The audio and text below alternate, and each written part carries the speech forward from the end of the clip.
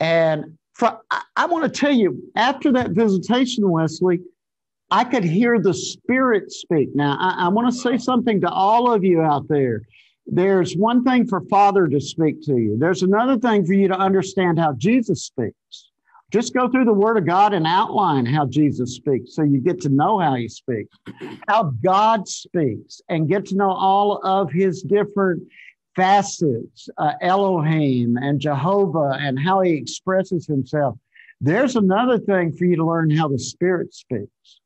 That's what brings you into a place of walking in the reality of where you are.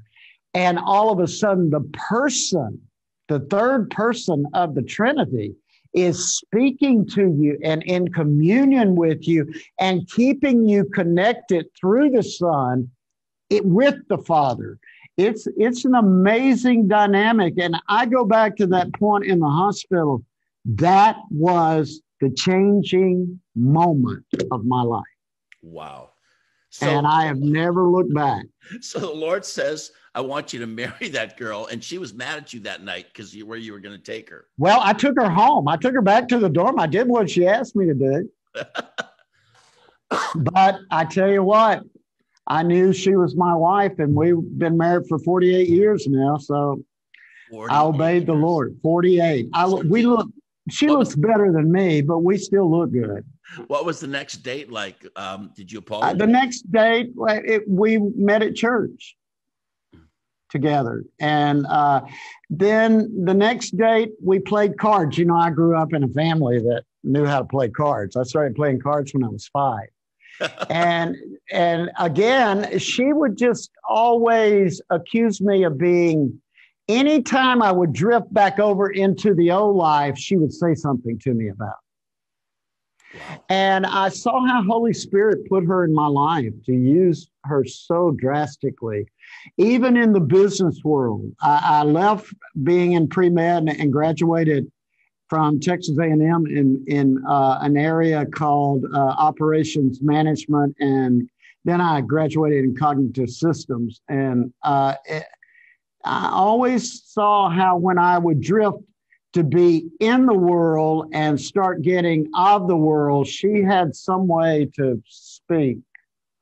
So how, Pretty, how many how long after that uh, first date did you got did you two marry? We got married. The, our first date was on November the 11th, uh, 1972. We got married. Uh, after that, the very next year. Wow! And then when did you have your first child? we didn't have our first child till 10 years after we got okay. married. So, uh, and, and the first child we had, uh, she couldn't have children. She found out. And the first child we had, uh, one of the, by this time I was in ministry and, uh, uh, one of the pastor's relatives got pregnant and we knew it was our child. And so that we adopted our first child. Mm. And uh, then after that, we went to a James Robison conference. You know, uh, yep. John Wimber and James Robison. Yep. Uh, John Wimber was moving in a lot of the things of the Spirit. I never was a very good Baptist, so I would always see what was going on in the spirit world. And we went and in the midst of that conference, he started ministering to pregnant women. Well, I thought, oh, well, here we go. You know, Pam can't get pregnant. And all of a sudden, I looked over there. She was standing up with both of her hands. She was bright red while he's ministering to these pregnant women. All of a sudden, I said, What's happening? She said, The Lord is healing me. The Spirit of God is healing me right now she said it was like hot oil went down through her body and the clots in her uterus got knocked out by the power of God right there. Wow. Right in that moment. And she got pregnant two weeks later, and we have, she stayed pregnant for 10 years, sort of like you and. So, so you had five more children. Yeah. Wow. And, wow. Uh, plus, we had twins that uh, didn't make it. So, uh, it's been it's been quite a journey for us, but I, I want to say to you, let when the Spirit of God draws you, follow Him. Uh, any of you listening out there, you might be hearing this, wanting to know how salvation works. He'll draw you. He'll draw you. And He draws us to Him. And you will come to know Him. Then there's going to come a moment where Holy Spirit becomes so real to you that you're going to know him. And I want to say what God is doing in the church right now by the Spirit is gathering, starting, getting us ready to gather the harvest in. And so you'll start seeing with eyes of the Spirit people that the Lord is calling, and you'll be used as a witness for them. That's amazing. So, just just as you were saying that, I was kind of summarizing it, and the summarization that I kind of have heard from your testimony of conversion is that how important people, God used other people yeah. In the salvation of Chuck Pierce, the Absolutely. sanctification of Chuck Pierce, the growth in your whole life.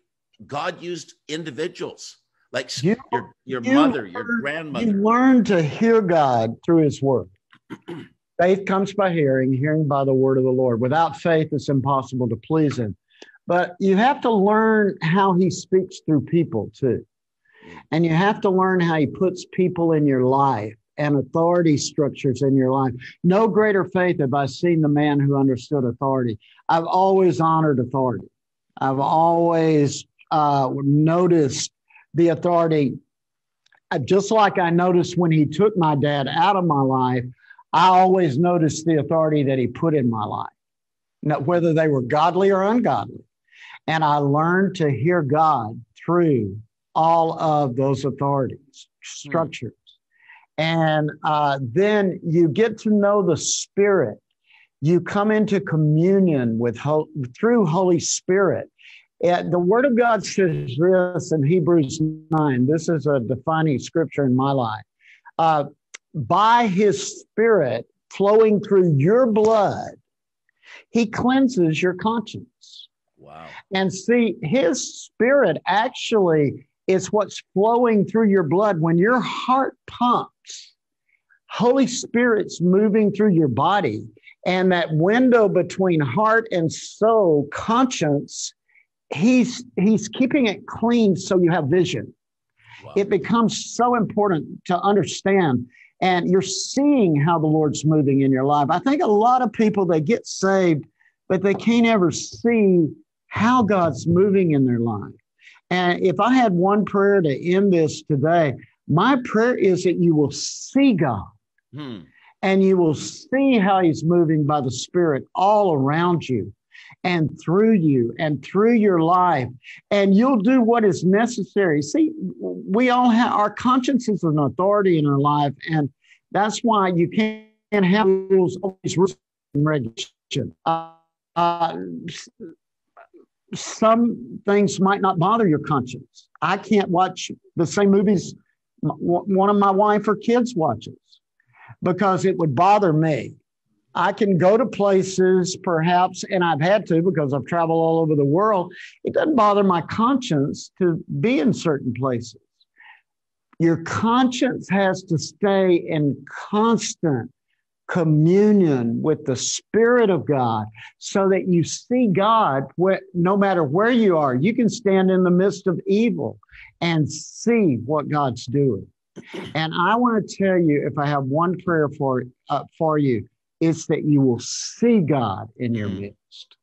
Wow. Well, why don't you just pray that right now over the listeners? And Some obviously. What a blessing. Yeah. What a blessing being with you guys. And uh, I, I do hope you have godly grandmothers and godly wives and uh, godly friends that say to you what you need to hear. And I hope you stay in the Word of God.